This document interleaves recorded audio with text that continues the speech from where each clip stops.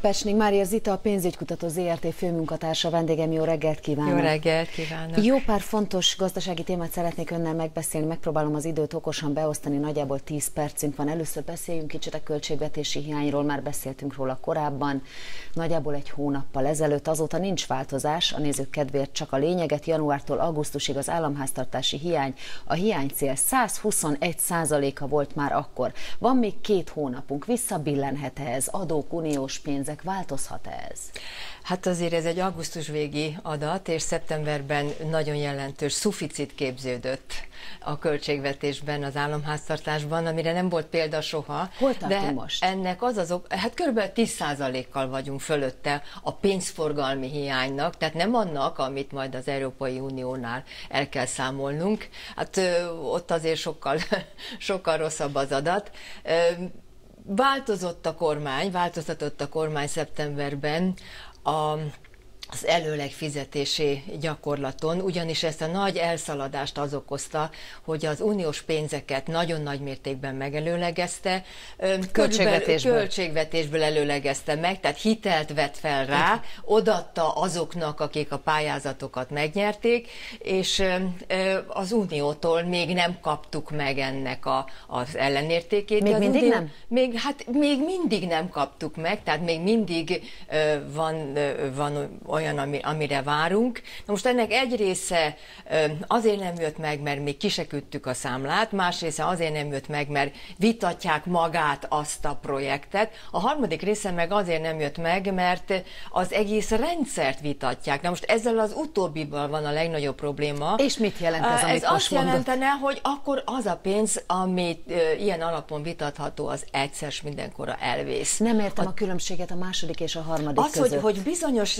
bizonyos el, például azt mondja, hogy, hogy víztisztításra, vagy infrastruktúra fejlesztésre, tehát ilyen globális nagy dolgokra, az ez azért nem, nem nagyon tetszik az uniónak, tessék megmondani konkrétan, illetve az elosztási rendszert bírálja, ami teljesen jogos, ugye áttekintették, és a négyes fokozatból a hármas adták, tehát ármast kaptunk, tehát valami a lehető, a legrosszabbtól csak éppen egy szinttel vagyunk elmaradva. A legrosszabb a, a kettes? A, a legrosszabb a négyes. Ja, bocsánat, fordítva, a legrosszabb igen, a négyes. Igen, igen, egytel vagyunk elmaradva. Na most, hogyha itt, itt azt mondják, hogy nagyon nagy probléma van a, a, a közbeszerzések elbírálása, egyáltalán közbeszerzéssel, az elbírálással, a pénz kiutalással, akkor, akkor esetleg tényleg elveszítünk egyszer mindenkor a pénzeket.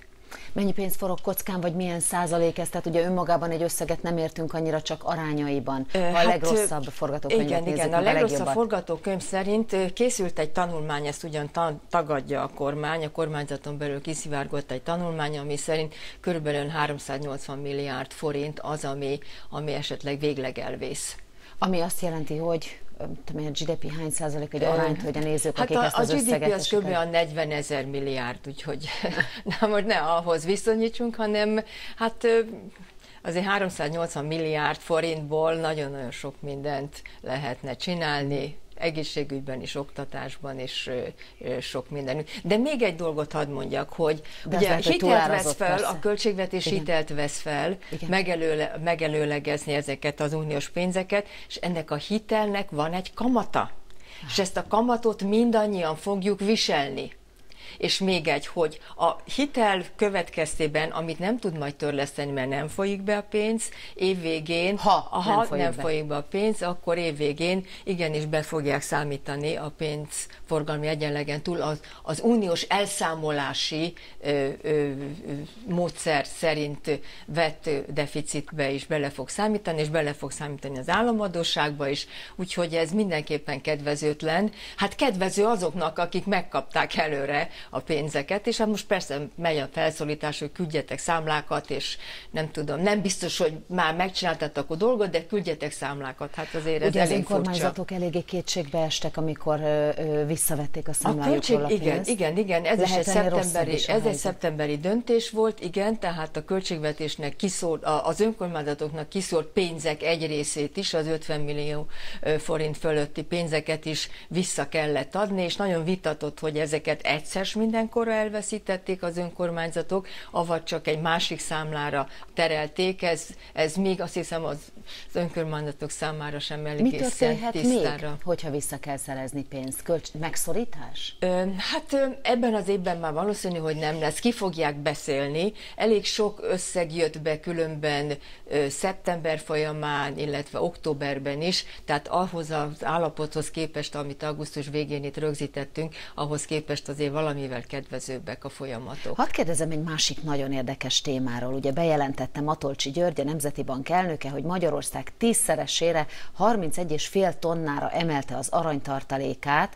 Bokros Lajos rettenetesen kritizálta ezt. Azt mondta, hogy aranyvásárlása vagy fölösleges, vagy káros. Nixon óta nem pénz az arany, nem monit, nincs monetáris funkciója. Ugyanakkor, és ez a lényeg a kérdésemnek, azt mondta Matolcsi György, idézem, hogy sok olyan jelzést kaptunk, hogy a világ nagy országai változtattak aranyjal kapcsolatos stratégiájukon. A jegybankok többszörösére emelték az aranytartalékukat máshol is. Bokros Lajosnak kell hinni, vagy Matolcsi Györgynek igaz-e, hogy mások is vesznek hát aranyat? Nézze, általában a modern pénzgazdaságban ugye az arany, az, ha tartalékként felhalmozzák, az egy veszteség abszolút veszteség, mert annak a a szállítása, őrzése, kezelése, az mind költséggel jár, viszont nem hoz semmit. Semmit? sem, hát semmit, semmit nem hoz. Portfólió diversifikálásra, kockázatcsökkentésre? Hát olyan értelemben, hogyha azzal számolok, hogy majd az arany árfolyama emelkedni fog, és el fogom tudni adni. De ha mindenki, erre, mindenki erre számít, és mindenki akkor el akarja adni, akkor azt nem fogja letörni az árat, ugye az a kínálati többség fogja letörni törni az árat. Nem tudjuk, hogy mennyiért vették, de az egészen biztos, hogy ez veszteség másféle devizatartalékhoz képest, ami azért papírokban itt-ott valamiféle kis hozama, nem nagyal, de valamit hoz, de ez csak visz.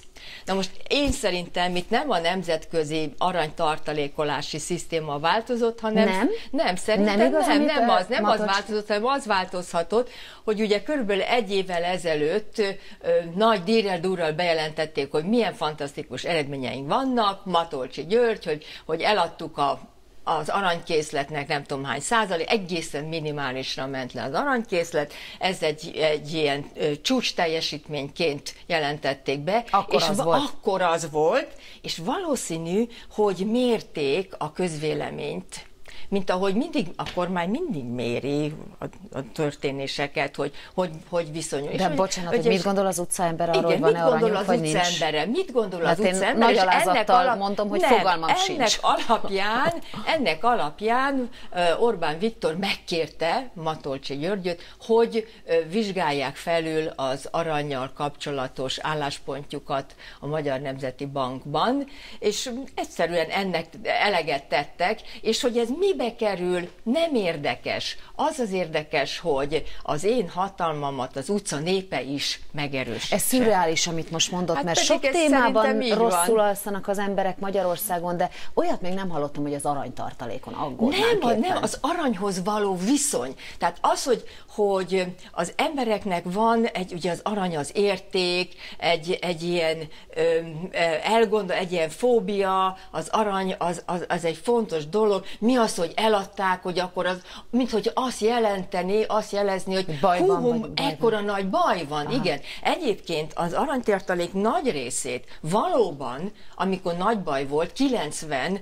nyarán, kora őszén adták el mert annyira nem volt deviza, és, és majd, hogy nem a fizetésképtelenség határán volt az ország, hogy szükség volt arra a forrásra is. Bedobta az ember az aciba, milyen van? Hát igen, erről volt szó, és akkor a kis maradékot meg most eladták, de most akkor visszavesszük, és most akkor ez lesz a, összefoglalva ez lesz a az lényeges, semmi értelme aranyat ennek, ennek nincs értelme, ha már arra készülnek, hogy válság lesz, már pedig azért a világban nagyon sok jele ebbe az irányba mutat, akkor nem az arany tartalék növelésével, tehát egy ilyen költséges intézkedéssel kellene tartalékot képezni, hanem egy jobb gazdaságpolitikával, egy nem ciklus erősítő, hanem egy anticiklikus gazdaságpolitikával, a befektetők megnyerésével, a, az oktatás erősítésével, a, a növekedési alapoknak a megszilárdításával.